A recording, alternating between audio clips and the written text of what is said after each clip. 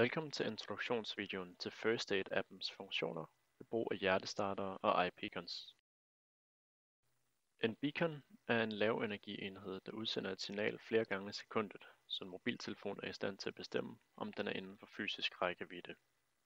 Efter en beacon er tilknyttet en hjertestarter, afsendes den med posten til den frivillige. Den frivillige placerer derefter beaconen i tasken sammen med hjertestarteren. Den samlede taske placeres derefter i den frivilliges bil, så den er let at nå, når der er alarmudkald.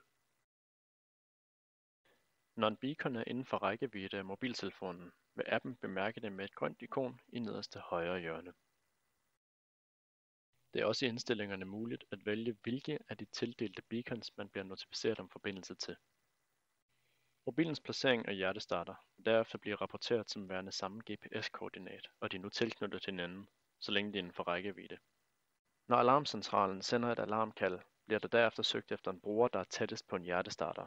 Men hvis en frivillig er inden for rækkevidde af en mobil hjertestarter og beacon, vil denne vinde fortrinsret i systemet og blive kaldt til ulykkesstedet.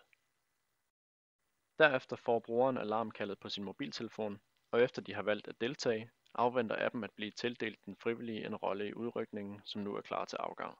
Og i det at hjertestarteren allerede er monteret i den frivillige bil, kan den frivillige bare sætte sig ind og spare kostbare minutter ved at udrykke direkte til ulykkesstedet.